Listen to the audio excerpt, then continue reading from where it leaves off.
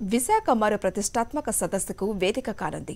అంతర్జాతీయ G twenty సన్నాహక సదస్సుకు సిద్దమవుతోంది ఇందుకోసం శరవేగంగా ఏర్పాట్లు చేస్తోంది జీవీఎంసీ దాదాపు నలభై దేశాల ప్రతినిధులు హాజరయ్యే అవకాశం ఉంది. వారందరికీ మరోసారి విశాఖ ఖ్యాతి వివరించే ప్రయత్నం జరుగుతోంది. విశాఖలో జీ ట్వంటీ సన్నాహక సదస్సుకు అన్ని ఏర్పాట్లు పూర్తవుతున్నాయి. వేగంగా పూర్తి చేసేందుకు జీవీఎంసీ ప్రత్యేక చర్యలు చేపడుతోంది. సదస్సుకు హాజరయ్యే నలభై దేశాల ప్రతినిధులతో పాటు ఇతర వర్గాలకు వస్తువులు కల్పించే పనిలో ఉంది.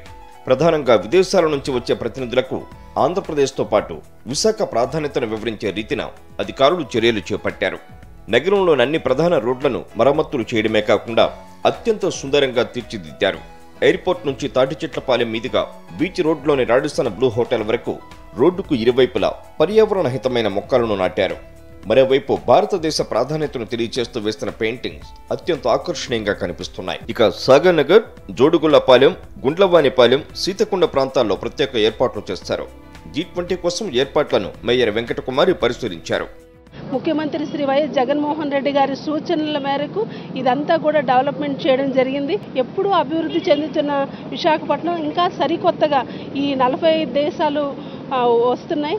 దీ- ఇంకా అంటే విశాఖపట్నం ఇంత మంచి నగరం మిగిలిన కంట్రీస్లో కూడా మారుమ్రోగే విధంగా విశాఖపట్నం పేరు ప్రఖ్యాతులు మారుమ్రోగే విధంగా మేమంతా కూడా ఎయిర్పోర్ట్ నుంచి ఇక్కడంతా కొత్తగా ఈ బీచ్ ప్రాంతంలో అయితే నాలుగు బీచ్ల్ని కొత్తగా డెవలప్మెంట్ చేస్తాం. విశాఖలో మౌలిక సదుపాయాలు నగర సుందరీకరణ కోసం వంద కోట్లను వెచ్చించారు.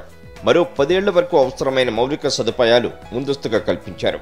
విశాఖ నగరం విదేశీ పర్యాటకులను కూడా ఆకర్షించే రీతిన తీర్చిదిద్దుతున్నట్లు జీవీఎంసీ కమిషనర్ రాజబాబు తెలిపారు.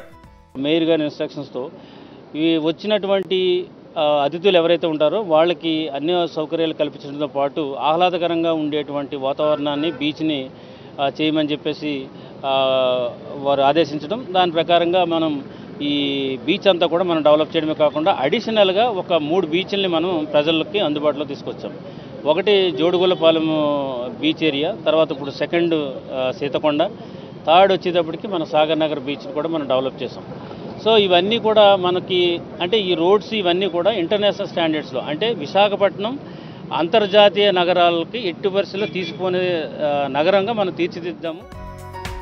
విశాఖలోని Tatichetlapalem railway new colony Sripuram junction గుడా పార్కు పరిసర ప్రాంతాల్లో సుందరీకరణ పనులను అధికారులు పరిశీలించారు. సీఎం జగన్ ఆశయాలకు అనుగుణంగా విశాఖ బ్రాండ్ ఇమేజ్ మరింత పెరిగేలా జీ ట్వంటీ సన్నాహక సదస్సుకు ఏర్పాట్లు చేస్తామన్నారు.